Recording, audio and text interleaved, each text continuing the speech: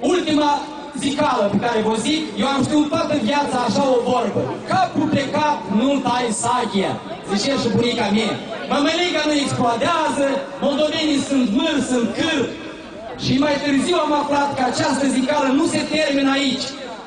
Capul plecat nu-l taie sabia, virgulă, dar nici soarele nu-mi vede. Capul sus, iată.